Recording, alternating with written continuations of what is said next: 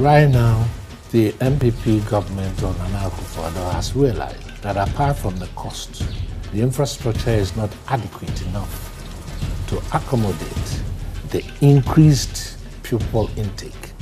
So it brings out this idea of double streaming. You support it? There are parents who can afford. Let them pay for their children's school fees. And the spirit is not only the universality, it's also the egalitarian element, equality of opportunity. That is the essence.